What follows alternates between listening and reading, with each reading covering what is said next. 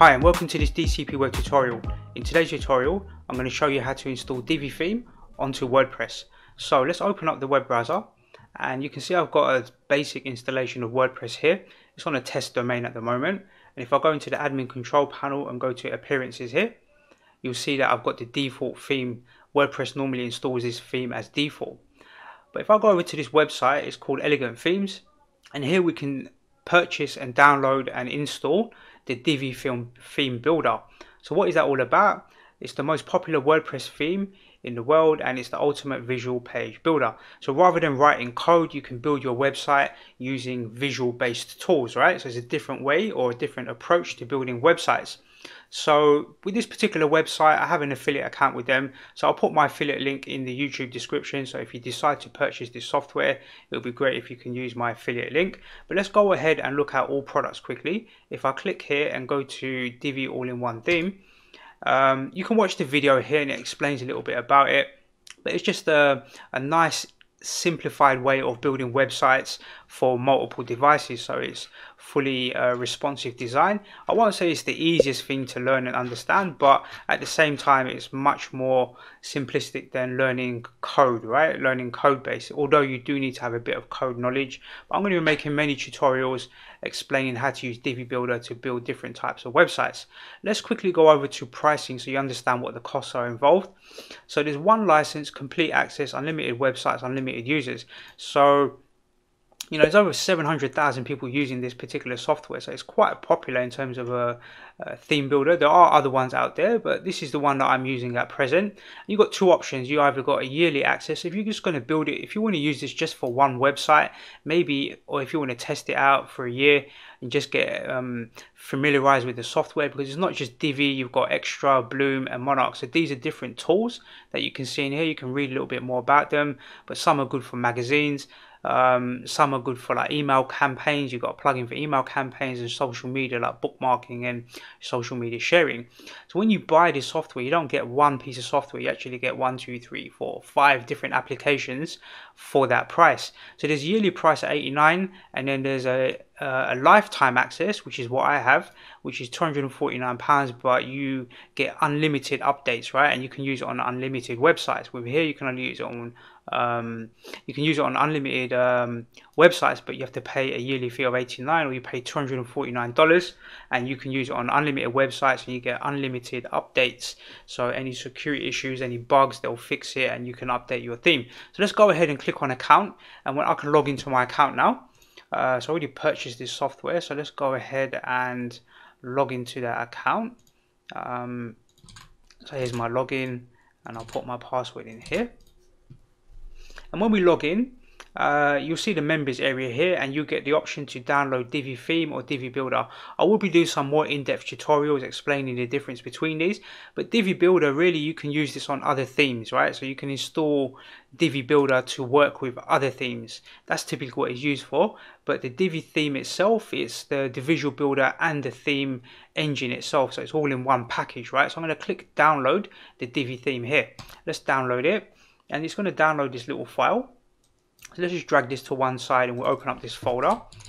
And it's not a small file in terms of a, a plugin right? It's around 9 megabytes. So you need to make sure that your hosting account is set, set up in the right way to accept uh, a 9 or 10 megabyte upload file right? So let's go ahead and try and install this. We'll go to our WordPress admin and we'll go to uh, appearances.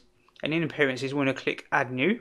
So we'll click add new and you'll get all of these different themes that you can select from the default WordPress but we want to upload a theme. So we're going to click upload theme here and we're going to choose a file.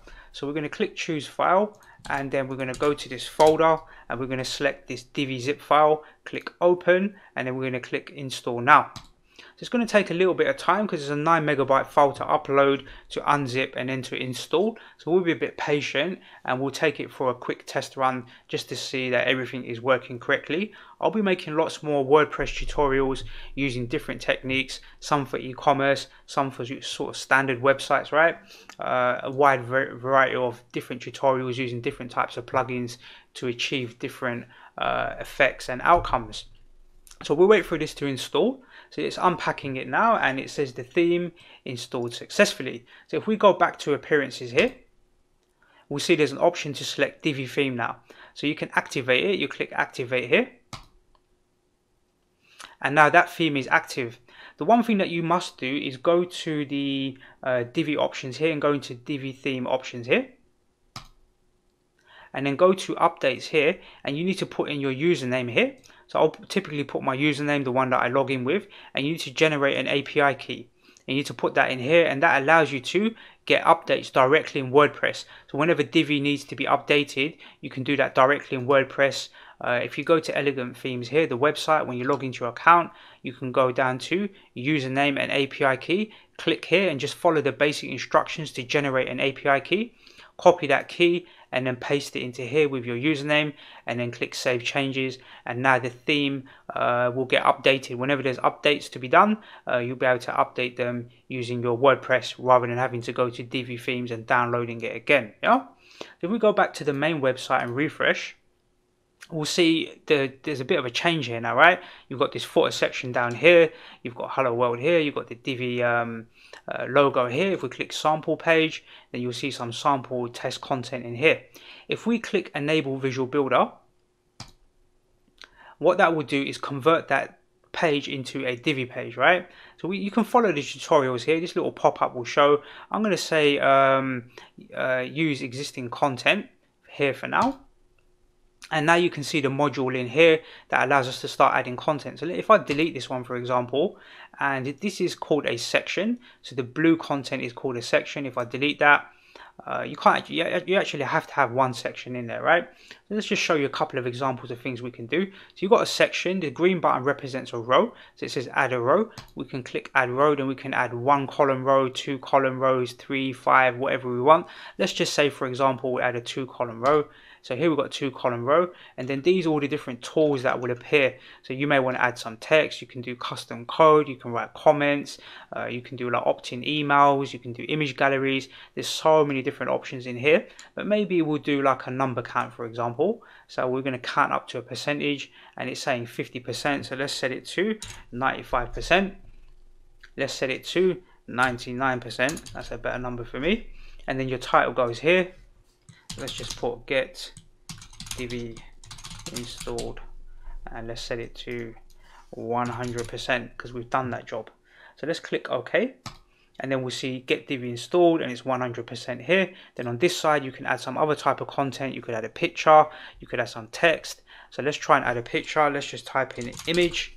And then when we type in image in the search we get the image option and then we click here one thing you can do actually is take this um, this tool and drag it to the side and it becomes like a tool that sits on the sidebar and I find that a bit easier rather than having to drag it across. Uh, let's click here, let's see if there's no pictures. So we haven't got any pictures, so let's go to Unsplash. Uh, normally you'll compress your images right before you upload them, but we'll just upload an example. So let's just take, um, let's just type in something like computer here. Let's type that in correctly. Computer work, something like this and maybe we'll take this picture here. Let's download it. So normally I would go and edit this image in Photoshop or in GIMP software compress the image resize it right before I upload it to um, before I upload it to WordPress. Otherwise the file would be too large. So let's just see what file size it is at the moment. It's like uh, let's see it's like two megabytes right? So let's go and fix that quickly. That's a bit silly to upload something that's two megabytes. So we can do that in um, let's say let's just do that in Photoshop. Let's just open up Photoshop. Might as well do this right. If we're going to do it right, we might as well do it the right way. Don't like to do things uh, incorrectly. So I'll be doing a lot more tutorials explaining image compression and the reasons behind it and so forth. Um, but here we've got Photoshop open. So let's just drag that over here. Let's just drag our image into Photoshop. And here we can see the image and uh, it's pretty big right? It's like 5000 pixels wide by whatever image it is. So we're going to go to image and we're going to go to image size. We can see that it's 5000 pixels wide. We probably need this to be no more than 500 pixels yeah? And we're going to click the lock so we can lock it on the aspect ratio. So it'll be 500 by 333 we'll click ok. Now it's going to be a much smaller image but it will still be good quality. We can zoom in and see it right that's going to be large enough more than large enough for what we need. And let's just export this. So let's go to export the image. And we'll set we'll leave it 100% compression because I'm going to show you one more thing afterwards. So let's just call this uh, example image dash 01 we'll save this. Let's minimize this. So really what we've done is we've taken that image from unsplash here the original one and we've compressed it from 2.3 meg to 178 kilobytes. And now we're going to recompress it one more time. So I'm going to go to this website called compress jpeg drag and drop that picture into here. And I'm going to download it. And I'm going to show you a lot of this stuff uh, in future tutorials. But really what we've done is we've taken an image which is 2.3 meg compressed it in Photoshop to 178 kilobytes and then recompressed it all the way down to 44 kilobytes right? If so if I open up this image put it on this side take this image put it on the other side. Although it's a smaller image the quality is pretty much there for the size that we want right? The image quality hasn't depreciated because we want the image to be roughly this size anyway. And we, we should really measure it out a bit more accurately but for this test I think it's fine. So we just rename this one to uh, 02 that's what I normally do. And you can delete these other ones if you don't want them. We'll keep it for now. We'll go back to WordPress. Here we are and it's asking us to drag and drop a file in here so we'll drag and drop it. You should give it an alt name. So we'll just copy this. Uh, let's just call it example image for now. Let's uh, spell that correctly. Would help. Example image. We'll give it a title here and click upload image. Now we've got that image in Divi Builder right? So it's set to um, landscape at the moment but now you can see the text or the, uh, the timer the counter on this side and the image on this side. And then we can go ahead and add another module so we can click this little gray button and then maybe we want to add some text. And we'll add some text in here and I might write something like just showed you how to install Divi themes builder. Also add a counter and image which has been compressed. Right so we've got a bit of text there I might just copy this image has uh, which image has been compressed. I might copy this text paste it one more time just as a just to fill out the space here. And then we'll click the green button. And then we can exit the visual builder. Really we should click this purple button and save it and we'll add a logo and start to build out our navigation here. But let's just exit the visual builder. And now we can see the time the you know the, the percentage is ticking up. We've got our text here and we've got our image here. And if we were to resize this on the screen so if we just resize the browser you can see that it's responsive for mobile and tablets doing all that good stuff, right? So it's responsive. Let's just show you one other more powerful thing in Divi Builder. Let's just show you what it can potentially do. And we're going to be making some nice websites using this software. I'm going to click on the little cog icon on the image and we'll just drag it to, uh, let's just drag it to this side for now. Here, I'm going to go to design, I'm going to go to animation and I'm going to click flip. So now we can flip this image or we can fold it or we can have it slide in. We can have it sliding from the center we can have it sliding from the left. So maybe we'll have this image sliding from the left. And I'm going to put a delay on it. So I'm going to say I don't want you to slide in until 500 milliseconds half a second right? And we'll click OK. And then we've got this little counter going. So we can click on the cog there go to design go to animation and maybe this one we will bounce it in. So it bounces like this. And then the text itself uh, we're going to set that to animation. We're going to slide it in from the left from the left side. So we want to slide in from uh, the right hand side going this way or slide to the right should I say. And we're going to set that to one second delay 1000 milliseconds. So there's going to be some delays between this content. This will show first then this and then this will slide in. So if we exit the visual builder and save it we can watch that sequence happen now